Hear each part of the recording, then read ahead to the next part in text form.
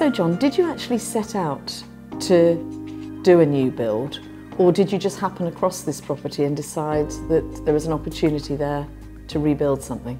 I guess as a kid I always had a dream to build a house from scratch. I guess a nice little childhood thing to, to live by. But no, we were very happy in a lovely house we'd just renovated and then temptation came and, uh, and presented itself in front of me. I was driving to town one day past this site, watching the sunrise over the Prevost Watchtower and thought, wow, what a view that is. House comes up for sale, needs a little bit of love and attention and I thought, mm, this could be an interesting uh, project to play with. So when you decided to rebuild, did you know you were going to construct a German timber frame property or did you investigate a traditional build? I've always been a, a fan of timber frame. I, I grew up in a, a, 60s timber frame house, which probably most people would turn their nose up at, um, but it's a very sensible form of construction.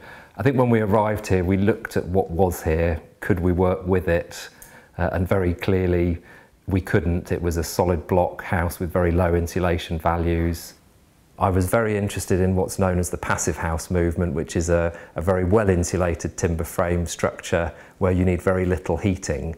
But the commercial head in me said, if I build this and don't put any heating in, you know, if I ever have to sell it, someone might say, hang on, you know, I, I don't buy into this. Um, so it was trying to balance those two things. We shopped around a lot. We saw a couple of great firms in the UK.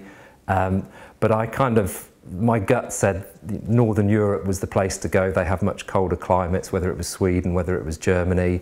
And we happened to, to find a German company that were able to do what we wanted. Um, it was very much a bespoke option, not a off-the-shelf package. Nothing had to be overly redesigned from the original scheme.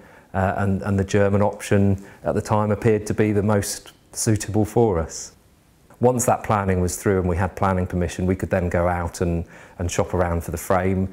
Uh, in the case of the German company, what we did was actually go to Germany once we had decided this was the route to follow, and they had a very slick process of getting all the information that they needed out of you, where every light switch is going to be, where every plug socket needs to be, what bathroom, what everything else you needed. Um, and that way, what came then was very large sections of timber frame that slotted into place very quickly uh, and then we could finish internally to, to our own specification at the end. We started the demolition in November and we moved in in July the following year, so effectively eight months-ish. Once you've got the concrete slab down, it moves very quickly. These are sort of very large sections, up to probably about 30 foot long, that are just put into place. And literally the house was up within three days and watertight within about five to six days.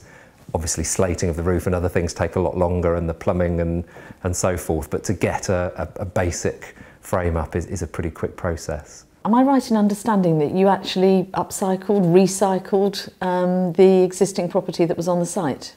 The old house was a solid block house, concrete blocks, could have sent it down to landfill and, and the thought of probably 500 lorries going up to Ronez quarry to dump it filled me with dread.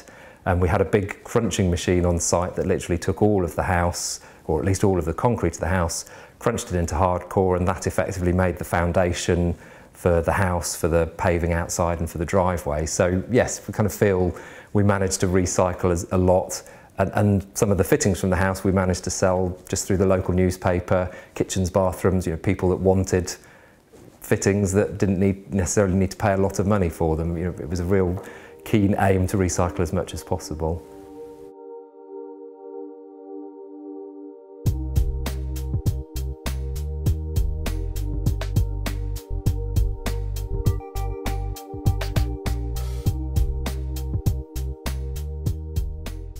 You designed the house, I think I'm right. That's right, yes. And I guess you designed it around this amazing view. Absolutely. I mean, the site was what drew me here or drew us here. Um, the house wasn't inspiring. There was this lovely view that really didn't get much sight from the original house. It's south facing, it's you know, panoramic, and what we wanted to do was build the house to really enjoy that view.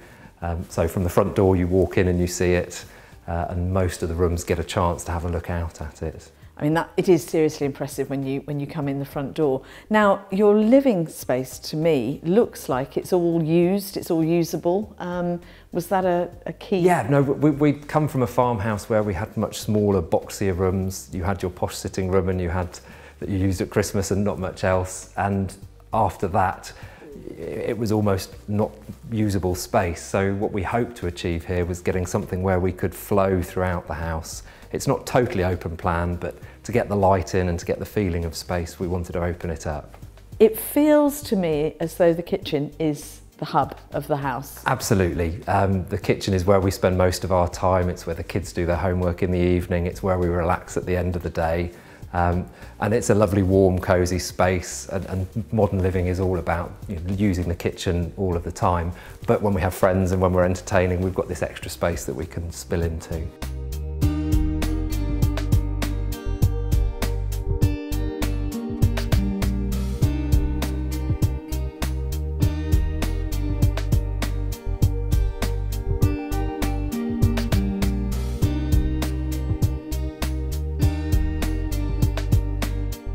When you were designing the upstairs of the house, what was your thought process there?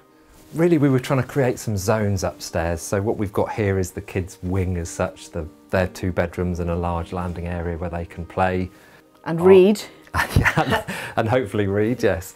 And then we've got our bedroom at the far side and then guest space across here. That way everyone's got their own little corner and if there is noise, if there is you know, people wanting to run off into peace and quiet, they can do. And effectively getting as much of the view as we could. The girls' bedrooms look out over sea, and in the same way, our bedroom has that lovely view across um, down to the coast. And, and, that's what struck me coming up here. All your bedrooms are on the seaward side, which is which is great. And yes, the road's on the other side, which yeah. is probably not the right place for a bedroom. So hopefully, it's worked really well. No, it looks great.